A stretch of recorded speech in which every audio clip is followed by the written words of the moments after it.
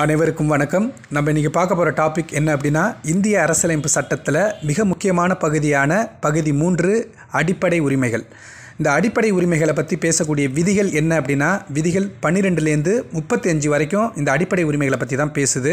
இதை ஏன் அடிப்படை உரிமைகள் அப்படின்னு சொல்கிறாங்க அப்படின்னா அடிப்படை உரிமைகளுக்கு அரசியலமைப்பு சட்டமே உத்தரவாதம் அளிக்குது.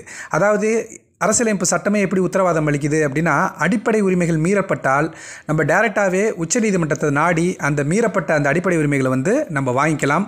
அதை தான் வந்து அதனால தான் இதை வந்து அடிப்படை உரிமைகள் அப்படின்னு சொல்கிறாங்க இதே சாதாரண ஒரு உரிமை இருக்குது அப்படின்னா அந்த சாதாரண உரிமை ஏதோ பிரச்சனை ஏற்படுது அப்படிங்கும்போது நம்ம எந்த மாவட்டத்தில் இருக்கோமோ அந்த மாவட்ட நீதிமன்றத்தை நாடணும். அங்கே கிடைக்கல அப்படின்னா நியாயம் கிடைக்கல அப்படின்னா உயர்நீதிமன்றத்தை நாடணும். உயர்நீதிமன்றத்தை நம்ம கிடைக்கல அப்படின்னா உச்சநீதிமன்றத்துக்கு போவோம். ஆனால் அடிப்படை உரிமைகள் மீறப்பட்டால் நம்ம டைரெக்டாகவே சுப்ரீம் கோர்ட் அதாவது உச்சநீதிமன்றத்துக்கு போய் அந்த மீறப்பட்ட அடிப்படை உரிமைகளை வந்து நம்ம நிலைநாட்டிக்கலாம். இது வந்து இந்திய அரசியலமைப்பு சட்டத்தோட மூன்றாவது பகுதியில் வந்து இதை வச்சுருக்காங்க. இதை வந்து அடிப்படை உரிமைகளை வந்து அமெரிக்காவில் என்னன்னு சொல்லுவாங்க அப்படின்னா பில் ஆஃப் ரைட் அப்படின்னு சொல்லுவாங்க. அது இப்போ அடிப்படை உரிமைகள் எந்த நாட்டிடமிருந்து பெறப்பட்டது அப்படின்னு பார்த்தோம்னா அமெரிக்க நாட்டிடமிருந்து பெறப்பட்டது. இது அடிப்படை உரிமைகள் என அழைக்க காரணம் இதற்கு அரசியலமைப்பு சட்டமே உத்தரவாதம் அளிக்குது. ஸோ இந்த அடிப்படை உரிமைகள் பார்த்தோம்னா மொத்தம் ஆறு வகையான அடிப்படை உரிமைகள் இருக்குது என்னென்ன ஆறு வகையான அடிப்படை உரிமைகள் அப்படின்னா சமத்துவ உரிமை சுதந்திர உரிமை சுரண்டலுக்கு எதிரான உரிமை சமய உரிமை கல்வி மற்றும் பண்பாட்டு உரிமை அரசியல் வழி தீர்வான உரிமை. சமத்துவ உரிமைனா என்ன அப்படின்னு பார்த்தோன்னா எல்லாருமே சமத்துவமாக இருக்கிறதுக்கான கொடுக்கப்பட்ட உரிமைகள். அது விதி பதினாலுலேருந்து பதினெட்டு வரைக்கும் சமத்துவ உரிமைகளை பற்றி பேசுது. அடுத்து சுதந்திர உரிமை சுதந்திர உரிமை பற்றி பேசக்கூடிய விதிகள் என்ன அப்படின்னா விதி பத்தொம்போதுலேருந்து இருபத்தி ரெண்டு வரைக்கும் சுதந்திர உரிமையை பற்றி பேசுது.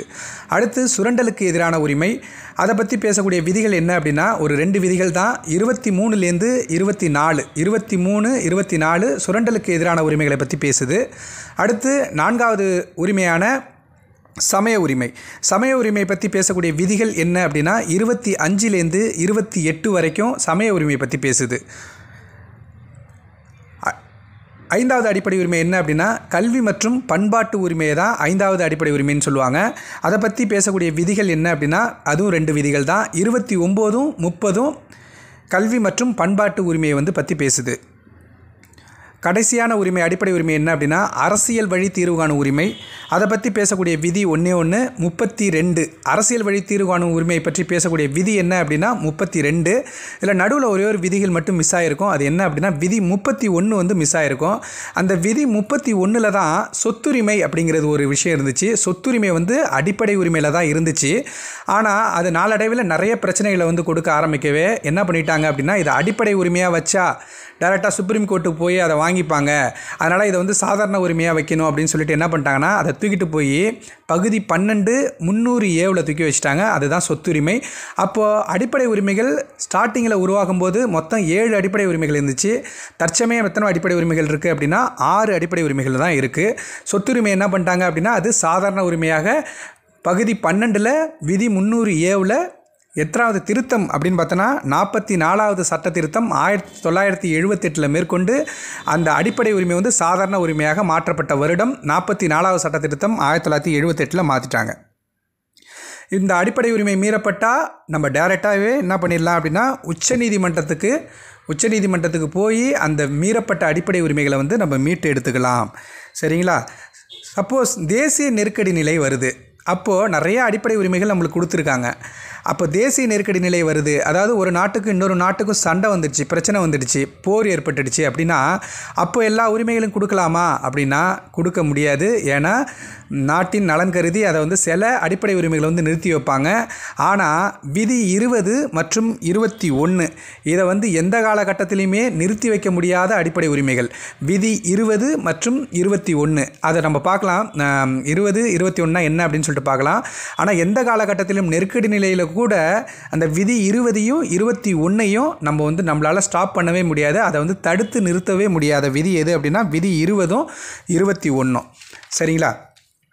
அதுக்குள்ளே நம்ம வந்து ஆறு அடிப்படை உரிமை இருக்குன்னு சொன்னோம்ல அதில் வந்து ஒன் பை ஒன்னாக சமத்துவ உரிமைனா என்ன? அதில் வந்து டேரெக்டாக என்ன கொஷின் கேட்க போகிறாங்களோ அதை மட்டும் தான் நம்ம பேச போகிறோம் ஸோ அதுலேருந்து டேரெக்டாக நம்ம சமத்துவ உரிமை முதல் அடிப்படை உரிமையான சமத்துவ உரிமை பற்றி போயிடலாம். அந்த சமத்துவ உரிமையை பற்றி பேசக்கூடிய விதிகள் என்ன அப்படின்னா விதி பதினாலுலேருந்து பதினெட்டு அதில் விதி பதினாலு என்ன சொல்லுது அப்படின்னா சட்டத்தின் முன் அனைவரும் சமம் அப்படின்னு சொல்லுது. சட்டத்துக்கு முன்னாடி எல்லாருமே சமம் தான் ஒரு பிரதமராக இருந்தாலும் சரி ஒரு கடைகோடி மக்களாக இருந்தாலும் சரி தான். எல்லாருமே ஒன்று தான் அப்படின்னு சொல்கிறது தான் விதி பதினாலு. சட்டத்தின் முன் அனைவரும் சமம். மற்றும் அனைவருக்கும் சமமான பாதுகாப்பு பற்றி கூறும் விதி என்ன? எப்படி வேணால் கேட்கலாம். விதி பதினாலு தான். சட்டத்தின் முன் அனைவரும் சமம். அனைவருக்கும் சமமான பாதுகாப்பு பற்றி கூறும் விதி என்ன அப்படின்னா பதினாலு. விதி பதினஞ்சு என்ன சொல்லுது அப்படின்னு பார்த்தோன்னா சாதி சமயம் மதம் இனம் பாலினம் ஆண் பெண் பிறந்த இடம் இந்த எந்த அடிப்படையிலையும் யாருமே பாகுபாடு காட்டக்கூடாது. எந்த ஜாதி எந்த மதம் எந்த இனம் ஆணா பொண்ணா எந்த இடத்துல பிறந்தாங்க இந்த அடிப்படையில் வந்து பார்த்தோம்னா யாரையுமே பாகுபாடு காட்டக்கூடாது அப்படின்னு சொல்கிற விதி என்ன அப்படின்னா விதி பதினஞ்சு. விதி பதினஞ்சு. விதி பதினாறு என்ன சொல்லுது அப்படின்னா அரசு வேலைகளில் சம வாய்ப்பு அரசு வேலைகளில் சம வா சம வாய்ப்பு. அது என்ன ஒரு கவர்மெண்ட் வேலை போடுறாங்க அப்படின்னா அதில் எஸ்சி எஸ்டி ஓபிசி இப்போ இடபிள்யூஎஸ் அப்படிங்கிற எக்கனாமிக்கலி வீக்கர் செக்ஷன் இவங்க எல்லாருக்குமே வந்து பார்த்தோம்னா அந்த சீட்டை வந்து பகிர்ந்து கொடுக்குறாங்களே அதுதான். இப்போ ஒரு பொது வேலை போட்டால் எல்லாருக்குமே சமமான வேலை வாய்ப்பு வந்து கொடுக்கணும் அப்படின்னு சொல்கிறது வந்து விதி பதினாறு. விதி பதினேழு என்ன அப்படின்னா தீண்டாமை ஒழிப்பு. தீண்டாமைனா என்ன? தீண்டாமை அப்படிங்கிற வார்த்தை வந்து அரசியலமைப்பு சட்டத்தில் இருக்கா அப்படின்னா இல்லை.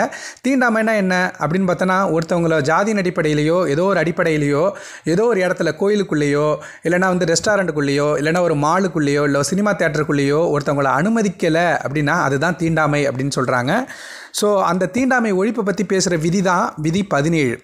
அடுத்து விதி பதினெட்டு என்ன அப்படின்னா பட்டங்கள் ஒழிப்பை பற்றி பேசுது. விதி பதினெட்டு பட்டங்கள் ஒழிப்புனா என்ன? படித்து வாங்கின பட்டத்தை தவிர்த்து அதேமாதிரி இராணுவத்தில் வாங்கின பட்டத்தை தவிர்த்து மற்ற எந்த பட்டத்தையுமே போடக்கூடாது. அதாவது ஜாதி பேரோ இல்லை மத பேரோ எதையுமே போடக்கூடாது. சர்ரு ராஜா மகாராஜா திவான் அதிராஜா ராஜாதிராஜா இந்த இந்த பேர்லாம் வந்து போடக்கூடாது இல்லை ஜாதி பேரையோ எதுவும் முன்னாடி போடக்கூடாது அப்படின்னு சொல்கிறது தான் பட்டங்கள் ஒழிப்பு. ஏன் போடக்கூடாது? அப்படின்னா இது ஒரு சாதாரண மக்களை விட நீங்கள் உயர்ந்தவன் காட்டிக்கிறீங்க. காட்டுறதுக்கான ஒரு இதாக இருக்குது அதனால் இதை வந்து இந்த பட்டம்லாம் போடக்கூடாது அப்படின்னு சொல்லிட்டு விதி பதினெட்டு சொல்லுது. பட்டங்கள் ஒழிப்பை பற்றி பேசுகிறது விதி பதினெட்டு. இதுதான் சமத்துவ உரிமை. இந்த நாலு உரிமையிலும் பார்த்தா எல்லாருமே சமம் அப்படின்னு சொல்கிறத வந்து சுட்டி காட்டுற ஒரு விஷயமாக தான் வந்து இந்த சமத்துவ உரிமை வந்து இருக்கும். எல்லாருமே சமம் தான் ஆனால் வந்து ஒரு நாட்டில் உள்ள மக்களையும் கடைகோடி மக்களையும் குடியரசுத் தலைவர் பிரதமர் எல்லாருமே ஒரே மாதிரி வச்சு பார்க்குறாங்க அப்படின்னா அது இல்லை அவங்களுக்கான சில சிறப்பு சலுகைகள் வந்து அவங்களுக்கு இருக்குது ஏன்னா நாட்டின் முதல் குடிமகனான குடியரசுத் தலைவருக்கு வந்து கட்டாயம் சில உரிமைகளை வந்து கொடுக்கணும்.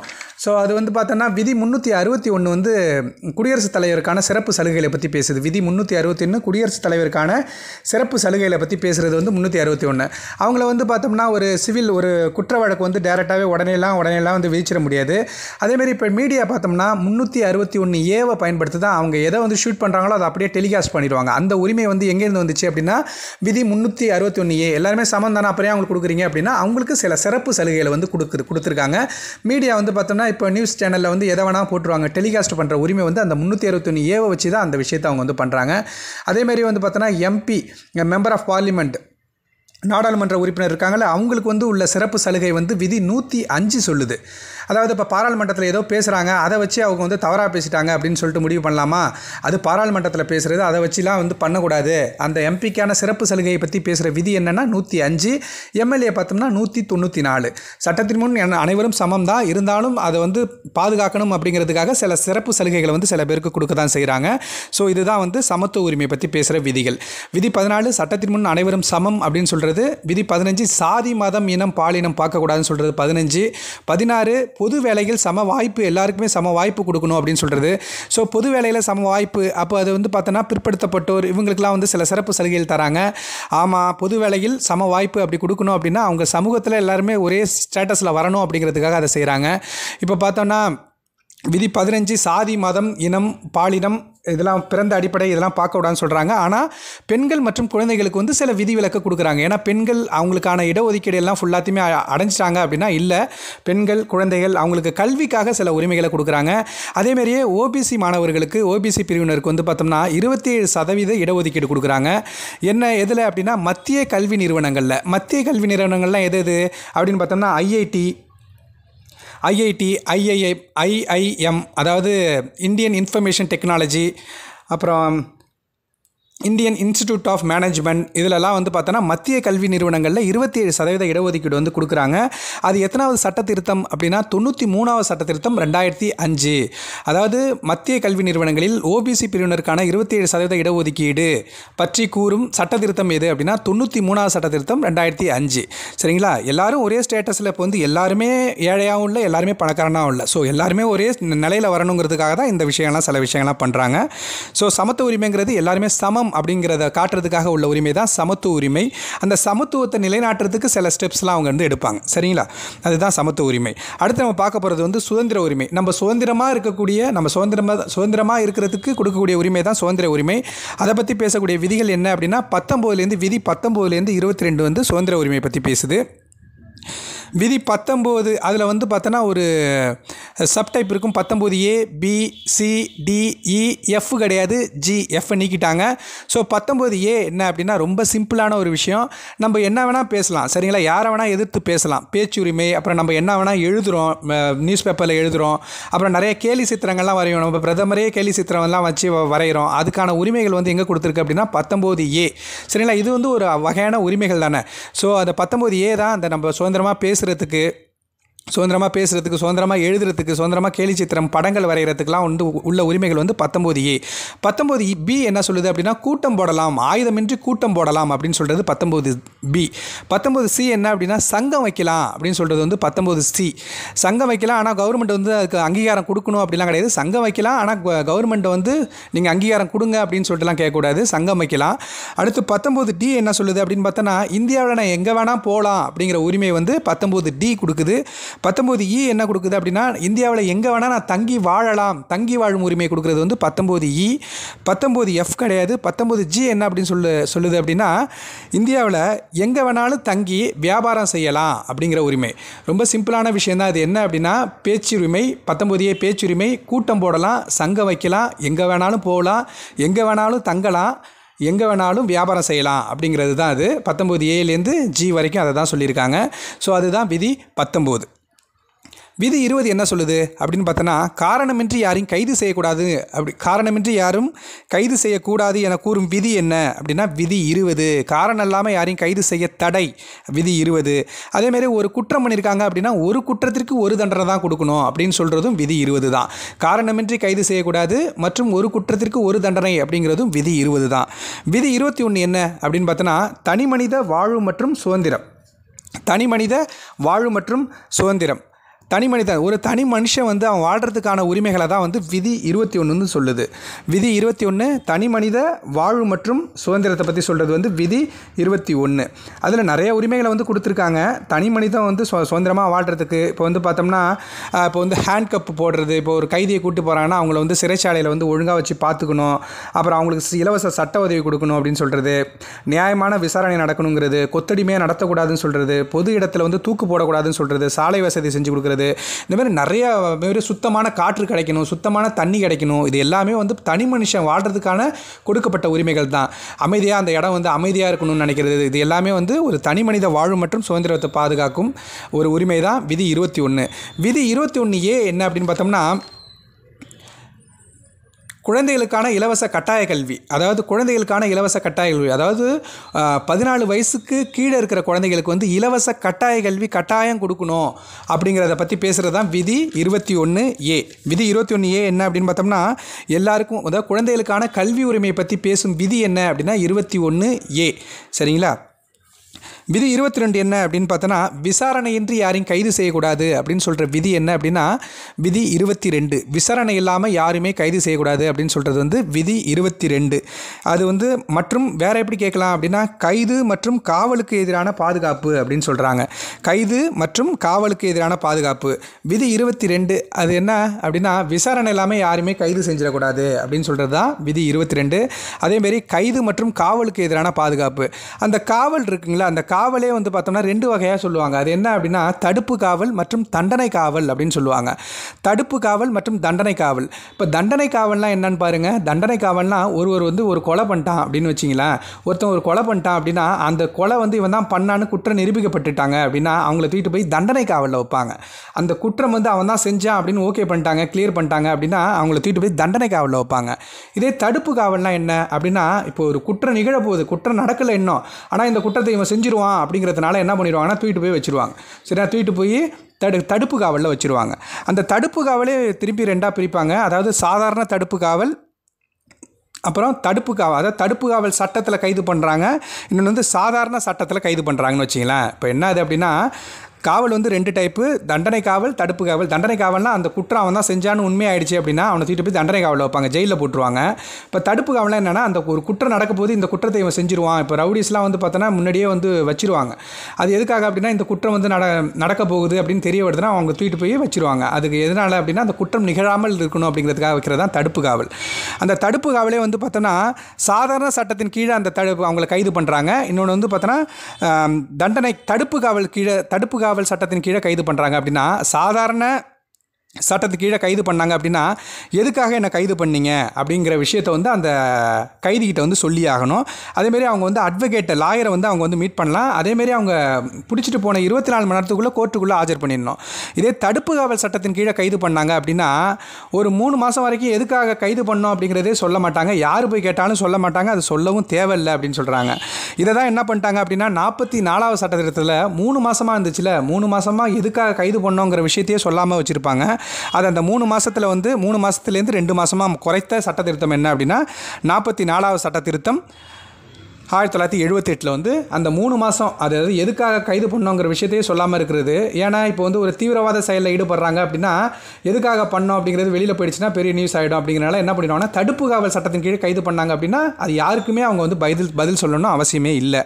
இந்த தடுப்பு காவல் வந்து உலக உலகளவில் எல்லா நாட்டிலையும் இருக்கா அப்படின்னா எந்த நாட்டிலையுமே கிடையாது. இந்தியாவை தவிர இந்தியா த இந்திய நாட்டில் மட்டும்தான் இந்த தடுப்பு காவல் அப்படிங்கிற ஒரு விஷயமே இருக்குது சரிங்களா? அதுதான் விதி இருபத்தி ரெண்டு விதி இருபத்தி ரெண்டு என்ன சொல்லுது அப்படின்னா கைது மற்றும் காவலுக்கு எதிரான பாதுகாப்பு. அதை பற்றி பேசுகிறது தான் இருபத்தி ரெண்டு இந்த காவலே ரெண்டு டைப் இருக்குது தண்டனை காவல் மற்றும் தடுப்பு காவல். தண்டனை காவல்னால் ஒரு கொத்த ஒரு கொலை பண்ணா அப்படின்னு உ- உண்மை நிரூபிக்கப்பட்டுடுச்சு அப்படின்னா அவங்கள தண்டனை காவல் வைப்பாங்க. தடுப்பு காவல்னால் ஒரு குற்றம் நிகழாமல் இருக்கணுங்கிறதுக்காக ஏற்கனவே பிடிச்சிட்டு போய் ஜெயிலில் வச்சிடுறது சரிங்களா? அதுதான் வந்து தண்டனை காவல் அப்படிம்பாங்க.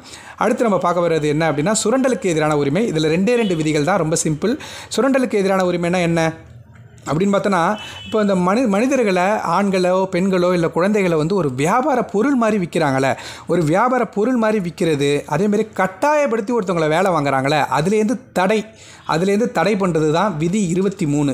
கட்டாயப்படுத்தி ஒருத்தவங்களை வேலை வாங்குறது வந்து தவறு அப்படின்னு சொல்கிற விதி தான் இருபத்தி மூணு. அதேமாரி ஒருத்தவங்களை ஒரு பொருள் மாதிரி ஆணையோ பெண்ணையோ குழந்தைகளையோ வந்து விற்கிறதுக்கு தடை போடுறது அது இல்லாமல் ஒரு ஒரு வேலையை கட்டாயப்படுத்தி வாங்கக்கூடாது அப்படிங்கிறத வந்து பற்றி பேசுகிற விதி தான் இருபத்தி மூணு. இருபத்தி நாலு என்ன சொல்லுது அப்படின்னா பதினாலு வயதிற்கு உட்பட்ட குழந்தைகளை வந்து ஒரு ஆபத்தான வேலையில் தொழிற்சாலைகள்லையோ இல்லைன்னா ஆபத்தான வேலைகளில் வந்து பார்த்தோம்னா ஈடுபடுத்தக்கூடாது அப்படின்னு சொல்கிற விதி என்ன அப்படின்னா விதி இருபத்தி நாலு. பதினாலு வயதுக்கு அதாவது நைன்த் ஸ்டாண்டர்ட் படிக்கிறாங்களே அவங்க அதாவது பதினாலு வயசுனா அப்போ அபவுட் அவங்க வந்து நைன்த் ஸ்டாண்டர்ட் படிச்சுட்டு இருப்பாங்க. அதற்கு அந்த பதினாலு வயசுக்கு உட்பட்ட குழந்தைகளை வந்து ஒரு ஆபத்தான வேலை வேலைகளில் அதாவது சுரங்க வேலைகளில் தொழிற்சாலைகளில் வந்து அவங்கள வந்து வேலை செய்ய வைக்கக்கூடாதுன்னு சொல்கிற விதி என்ன அப்படின்னா விதி இருபத்தி நாலு இல்லைனா சரத்து இல்லைனா பிரிவு எப்படி வேணால் அதை சொல்லலாம். இங்கிலீஷில் ஆர்டிக்கல் அப்படின்னு சொல்லுவாங்க. இல்லைனா லா அப்படின்னு சொல்லுவாங்க எப்படி வேணால் சொல்லுவாங்க. சுரண்டலுக்கு எதிரான உரிமை வந்து இருபத்தி மூணு இருபத்தி நாலு இருபத்தி மூணு என்ன சொல்லுது அப்படின்னா கட்டாயப்படுத்தி வேலை வாங்கக்கூடாதுன்னு சொல்லுது. இருபத்தி மூணு கட்டாயப்படுத்தி வேலை வாங்கக்கூடாது. அதேமாதிரி ஒரு பொருள் மாதிரி ஒருத்தவங்களை விற்கக்கூடாதுன்னு சொல்கிறது இருபத்தி மூணு. இருபத்தி நாலு என்ன அப்படின்னா ஆபத்தான வேலைகளை வந்து செய்ய வைக்கக்கூடாது. குழந்தைகளை பதினாலு வயதுக்கு உட்பட்ட குழந்தைகளை ஆபத்தான வேலைகள்லையோ தொழிற்சாலை வேலைகள்லையோ அவங்கள வந்து வேலை செய்ய வைக்கக்கூடாது அப்படின்னு சொல்கிறது விதி இருபத்தி நாலு. அடுத்து நம்ம என்ன பார்க்க போகிறோம் அப்படின்னா சமய உரிமை. சமயம்னா என்ன? அப்படின்னா ஹிந்து சமயம் ஹிந்து மதம் கிறிஸ்டியன் மதம் முஸ்லீம் மதம். நம்ம நாடு ஒரு மதச்சார்பற்ற நாடு. அதில் யார் வேணாவும் எந்த மதத்தை வேணாலும் பின்பற்றலாம். சரிங்களா? ஹிந்துவா கோயிலுக்கு போவாங்க கிறிஸ்டியனா சர்ச்சுக்கு போவாங்க முஸ்லீமாக மசூதிக்கு போகலாம் எப்படி வேணால் பண்ணலாம். ஒரு இந்தியாங்கிறது வந்து ஒரு மதச்சார்பற்ற நாடு. அதை பற்றி பேசுகிற உரிமை தான் சமய உ- சமய உரிமை. இருபத்தி அஞ்சுலேருந்து இருபத்தி எட்டு வந்து அதை பற்றி தான் பேசுது. ஸோ சமய உரிமை அப்படின்னா அது சமயத்துக்காக என்னென்ன உரிமைகள் இருக்குது அப்படின்னு தான் பார்க்க போகிறோம் ஸோ விதி இருபத்தஞ்சு என்ன சொல்லுதுன்னா யார் வேணாலும் எந்த மதத்தை வேணாலும் பின்பற்றலாம் அப்படின்னு சொல்கிறது வந்து விதி இருபத்தி அஞ்சு. யார் வேணாலும் அவங்க விரும்பும் சமயத்தை விரும்பும் சமயத்தை பின்பற்ற மற்றும் பரப்ப அவங்க எந்த சமயத்தை அவங்களை வந்து பு- பிடிக்குதோ அதை வந்து அவங்க பின்பற்றலாம் அதை வந்து அவங்க பரப்பவும் செய்யலாம் அப்படின்னு சொல்கிற விதி என்ன அப்படின்னா விதி இருபத்தி அஞ்சு. சரிங்களா? அந்த சமய விவகாரங்களை நிர்வகிக்க கூட செய்யலாம் அவங்க. அதாவது யார் வேணால் எந்த மதம் வேணால் பின்பற்றலாம்.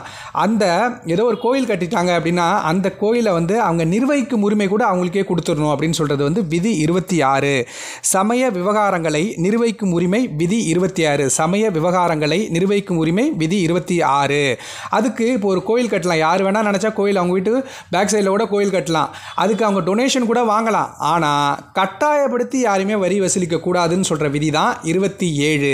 விதி இருபத்தி ஏழு கட்டாயப்படுத்தி அதாவது சமய விவகார விவகாரங்களுக்காக ஒருத்தவங்களுக்கு வந்து கட்டாயப்படுத்தி வரி வசூலிக்க கூடாது.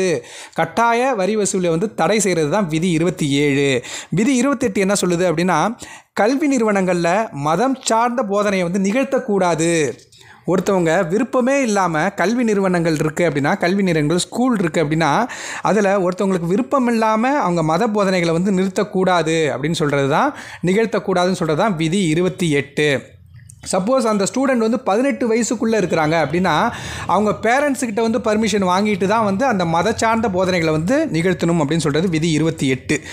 விதி இருபத்தஞ்சிலேருந்து இருபத்தெட்டு என்ன அப்படின்னா சமய உரிமை யார் வேணாலும் எந்த மதத்தை வேணால் பின்பற்றலாம். அந்த மதத்துக்காக அந்த சமய விவகாரங்களை நிர்வகிக்கும் உரிமை கூட அவங்களுக்கு இருக்குது கட்டாயப்படுத்தி டொனேஷன் வாங்கலாம் ஆனால் கட்டாயப்படுத்தி யார்கிட்டையுமே நம்ம வந்து என்ன பண்ணக்கூடாது? வரி வசூலிக்கக்கூடாதுன்னு சொல்கிறது இருபத்தி ஏழு இருபத்தெட்டு கல்வி சார்ந்த நிறுவனங்களில் வந்து கட்டாயப்படுத்தி ம மத போதனை நடத்தக்கூடாது. மத போதனை நடத்தலாம் ஆனால் கட்டாயப்படுத்தி தான் நடத்தக்கூடாது அப்படின்னு சொல்கிறது வந்து விதி இருபத்தி எட்டு ஸோ அடுத்த பார்க்கக்கூடிய உரிமை என்னென்னா கல்வி மற்றும் பண்பாட்டு உரிமை. இதுலேயும் ரெண்டே ரெண்டு விதிகள் தான். கல்வி மற்றும் பண்பாட்டு உரிமை. விதி இருபத்தி ஒம்போதுலேருந்து முப்பது. கல்வி மற்றும் பண்பாட்டு இருபத்தி ஒம்பது என்ன சொல்லுது அப்படின்னா சிறுபான்மையினர் நலன் காத்தல். விதி இருபத்தி ஒம்பது சிறுபான்மையினரின் நலன் காத்தல். அதாவது சிறுபான்மையினரோட மொழி கலாச்சாரம் பண்பாடு அவங்களோட எழுத்து வடிவத்தை பாதுகாக்கிறதுக்கு கொடுக்கப்பட்ட உரிமை தான் விதி இருபத்தி ஒம்பது. சிறுபான்மையினர்னா யாருங்க? பெரும்பான்மையினர்னா என்ன? சிறுபான்மையினர்னா என்ன? பணத்தின் அடிப்படையில் கிடையாது. பெரும்பான்மையினர் சிறுபான்மையினர் அப்படின்னு சொல்லிட்டு இங்கே எவ்வளோ மொழி பேசுகிறாங்க சரிங்க இங்கே வந்து த இங்கே வந்து இந்தியாவில் எத்தனை பேர் அதிக மொழி பேசுகிறாங்களோ ஹிந்தி இப்போ அதிக மொழி பேசுகிறாங்க அதிக பேர் பேசுகிறாங்க அதனால் வந்து இந்த பெரும்பான்மை மொழி வந்து ஹிந்தி அப்படின்னு சொல்லலாம். சரிங்களா? அடுத்து வந்து பார்த்தோம்னா அப்படியே ஆர்டராக வரும். சரிங்களா? இப்போது மொழியின் அடிப்படையிலையும் மதத்தின் அடிப்படையிலையும் தான் சிறுபான்மையினர் பெரும்பான்மையினர் பிரிக்கிறாங்க. இப்போ இந்தியா எடுத்துக்கிட்டோம் அப்படின்னா ஹிந்துக்கள் அதிகமாக இருக்காங்க. அதனால் அவங்க பெரும்பான்மையினர். இப்போ கிறிஸ்டியன் முஸ்லீம்லாம் வந்து கொஞ்சம் கம்மியாக அளவில் கம்மியாக இருக்கிறாங்க. அதனால் வந்து உலகளவில் அவங்க அதிகமாக இருக்கிறாங்க. ஆனால் இந்திய அளவில் அந்த கவுண்ட் வந்து கம்மியாக இருக்கனால அதை சிறுபான்மையினர் பெரும்பான்மையினர் அப்படின்னு சொல்கிறாங்களே ஒழிஞ்சு மற்றபடி வேறு எந்த வித்தியாசமும் கிடையாது. கம்மியான அளவு இருக்கிறனால இதே உலக அளவில் பார்த்தோன்னா முஸ்லீம் பாப்புலேஷன் கிறிஸ்டியன் பாப்புலேஷன்லாம் ரொம்ப ரொம்பவே அதிகம். ஸோ இந்தியாவில் எப்படி இருக்குது ஸ்டேட்டஸ் அப்படின்னு பார்த்தோம்னா பெரும்பான்மையினர்னா யார் அதிகமாக இருக்காங்களோ அவங்க பெரும்பான்மையினர். கம்மியாக இருக்கவங்க சிறுபான்மையினர் அப்படிங்கிறாங்க. இப்போ சிறுபான்மையினர்னா இப்போ இங்கே யார் யாரெல்லாம் வருவாங்க அப்படின்னா கிறிஸ்டியன் முஸ்லீம் ஜொராஸ்டியன் புத்தர்கள் இந்த மாதிரி ஜெயின் சமணம் இந்த இவங்கெல்லாம் வந்து வருவாங்க. ஸோ அந்த அவங்களுக்காக கொடுக்கப்பட்ட உரிமைகள் தான் இந்த கல்வி மற்றும் பண்பாட்டு உரிமை. இருபத்தி ஒம்போதுலேருந்து முப்பது. சிறுபான்மையினர் நலன் காத்தல் அதாவது சிறுபான்மையரோட மொழி கலாச்சாரம் அவங்களோட எழுத்து வடிவத்தெல்லாம் கட்டாயம் பாதுகாக்கணும் அப்படின்னு சொல்கிற உரிமை வந்து என்ன அப்படின்னா விதி இருபத்தி ஒம்பது விதி முப்பது என்ன சொல்லுது அப்படின்னா சிறுபான்மையினர் வந்து பார்த்தோன்னா கல்வி கூடங்களை நிறுவலாம். கல்வி அதாவது அவங்களே ஸ்கூலை வந்து கட்டி அந்த ஸ்கூலை அவங்களே நிர்வகிக்கலாம் அப்படின்னு சொல்கிற உரிமை தான் விதி முப்பது. இப்போ பார்த்தீங்கன்னா நிறைய கிறிஸ்டியன் ஸ்கூல் முஸ்லீம் ஸ்கூல்லாம் இருக்கிறதுக்கு காரணம் வந்து இந்த விதி முப்பது தான். இந்த விதி சட்டத்திலே சொல்லியிருக்கு. அவங்களுக்கு இந்த உரிமைகள் வந்து இருக்குது அப்படிங்கிறனால நிறைய ஸ்கூல் வந்து உருவாகுது. ரைட்டுங்களா? விதி முப்பது என்ன சொல்கிறாங்க அப்படின்னா சிறுபான்மையினர் வந்து கல்வி நிறுவனங்கள் கூட ஆரம்பிக்கலாம் அதை நிர்வகிக்கவும் செய்யலாம் அப்படின்னு சொல்கிறது வந்து விதி முப்பது. இங்கே நடக்கிற எல்லா விஷயமுமே சட்டத்துக்கு உட்பட்டு தான் நடக்குது அப்படிங்கிறத வந்து தெரிஞ்சுக்கலாம் அதுலேருந்து. சரிங்களா? கல்வி மற்றும் பண்பாட்டு உரிமைங்கிறது வந்து இருபத்தி ஒம்போதுலேருந்து முப்பது. இருபத்தி ஒம்பது என்ன அப்படி சொல்லுது அப்படின்னா சிறுபான்மையினர் நலன் காத்தல். இரு முப்பது என்ன சொல்லுது அப்படின்னா சிறுபான்மையினர் கல்வி நிறு நிறுவனங்களை கூட ஆரம்பிக்கலாம் ஆரம்பித்து அதையே அவங்களே நிர்வகிக்கலாம் அப்படிங்கிற உரிமை தான் விதி முப்பது. கடைசியான உரிமை என்ன அப்படின்னா அரசியல் வழி தீர்வு காணும் உரிமை. அரசியல் வழி தீர்வுகான உரிமைனா என்ன? அப்படின்னு பார்த்தோம்னா விதி முப்பத்தி ரெண்டு அரசியல் வழி தீர்வுகான உரிமைங்கிறது வந்து விதி முப்பத்தி ரெண்டு விதி முப்பத்தி ரெண்டு அரசியல் வழி தீர்வுக்கான உரிமைனா என்ன? இப்போது மேலே ஒரு ஐந்து உரிமைகள் சொன்னேன் சமத்துவ உரிமை சுதந்திர உரிமை சுரண்டலுக்கு எதிரான உரிமை சமய உரிமை கல்வி மற்றும் பண்பாட்டு உரிமை அப்படின்னு சொல்லிட்டு இந்த மேலே சொன்ன எந்த ஏதாச்சும் ஒரு உரிமைகள் வந்து பறிக்கப்பட்டுடுச்சு அப்படின்னா டேரெக்டாக நான் வந்து உச்சநீதிமன்றத்தை போயிட்டு நாடலாம். டேரெக்டாக நான் உச்சநீதிமன்றத்தை நாடலாம் அப்படின்னு சொல்கிற விதி தான் விதி முப்பத்தி ரெண்டு விதி முப்பத்தி ரெண்டு இதே நான் ஹைகோர்ட்டுக்கும் போய் அந்த உரிமைகளை வாங்கலாம். அது எந்த விதியை ஃபாலோ பண்ணி எனக்கு அடிப்படை உரிமை மீறப்பட்டுடுச்சுன்னு சொல்லிட்டு விதி இரநூத்தி இருபத்தி ஆறை ஃபாலோ பண்ணி உயர்நீதிமன்றத்தையும் விதி முப்பத்தி ரெண்டை ஃபாலோ பண்ணி உச்சநீதிமன்றத்தை நாடி எனக்கு கிடைக்காத உரிமைகளை வந்து நான் வந்து மீட்டு எடுத்துக்கலாம் அப்படின்னு சொல்கிற விதி தான் முப்பத்தி ரெண்டு அதாவது அரசியல் வழி தீர்வு காணும் உரிமை. அரசியல் மூலமாகவே அரசியலமைப்பு சட்டம் மூலியமாகவே ஏன்னா அடிப்படை உரிமையை வந்து யார் உத்தரவாதம் கொடுத்தது?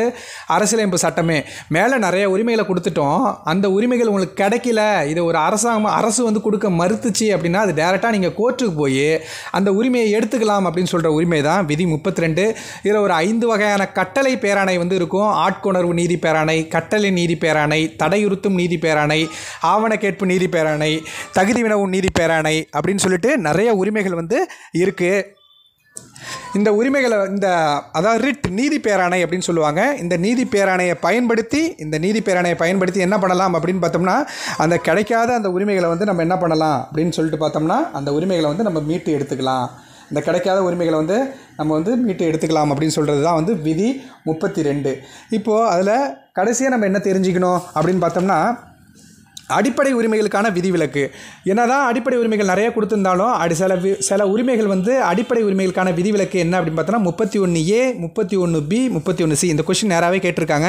அடிப்படை உரிமைகளுக்கான விதிவிலக்கு அப்படின்னா என்னென்னா இப்போது வணிக தோட்டங்களை பெறுவதற்கான உரிமை முப்பத்தி ஒன்று ஏ வணிக தோட்டங்களை பெறுவதற்கான உரிமை வந்து முப்பத்தி ஒன்று ஏ இப்போது நிறையா பார்த்திங்கன்னா நிறைய ஹாஸ்பிட்டல் அப்புறம் நிறையா வந்து காம்ப்ளெக்ஸ் இதெல்லாம் வந்து நிறையா அந்த தோட்டம் மாதிரி வச்சுருப்பாங்க. ஸோ அது வேணாம் அது உள்ள டெப்த்தெல்லாம் போவேன்னா அடிப்படை உரிமைகளுக்கான விதிவிலக்கு என்ன அப்படின்னா முப்பத்தி ஒன்று ஏ முப்பத்தி ஒன்று பி முப்பத்தி ஒன்று சி சரி விதி முப்பத்தி மூணு என்ன சொல்லுது அப்படின்னு பார்த்தோன்னா விதி முப்பத்தி மூணு என்ன சொல்லுது அப்படின்னு பார்த்தோம்னா இப்போது அடிப்படை உரிமைகள் வந்து எல்லாருக்குமே கொடுத்துருக்காங்க. ஆனால் சில சில துறையில் உள்ளவங்களுக்கு மட்டும் அந்த அடிப்படை உரிமைகள் பாராளுமன்றத்தால் நிறுத்தி வைக்கப்படும்.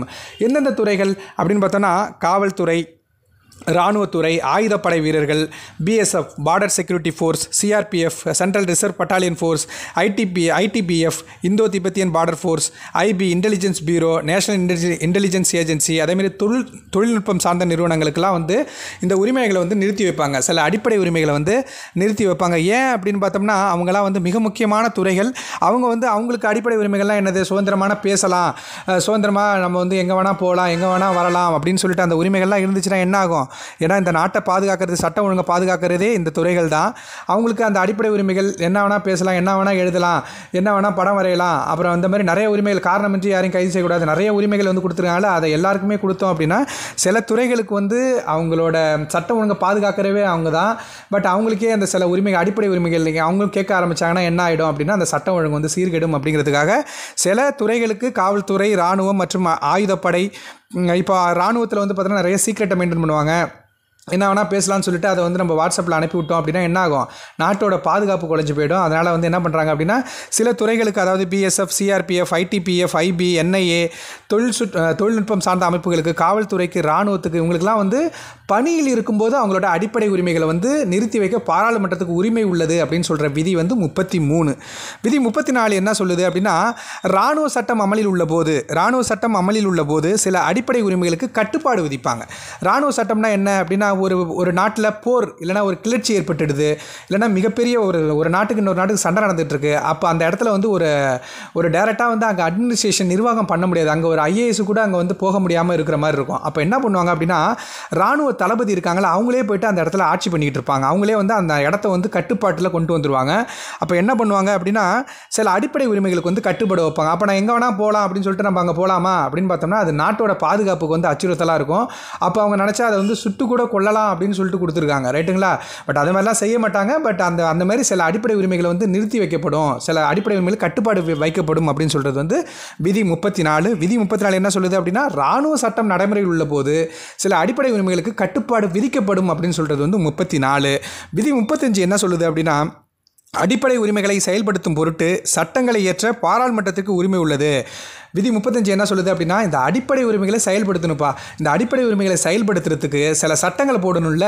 அடிப்படை உரிமைகளை செயல்படுத்த சில சட்டங்களை போடணும்ல. அந்த சட்டங்களை போடுறதுக்கு பாராளுமன்றத்துக்கே பாராளுமன்றத்துக்கு மட்டுமே உரிமை உள்ளது அப்படின்னு சொல்கிற விதி வந்து விதி முப்பத்தி ஐந்து இது மிக முக்கியமான டாபிக். நல்லாவே அதை வந்து நல்லா எழுதி வச்சு அதை கொஞ்சம் பாருங்கள் உங்களுக்கு எல்லாம் புரிஞ்சிருக்குன்னு நம்புகிறேன் நன்றி.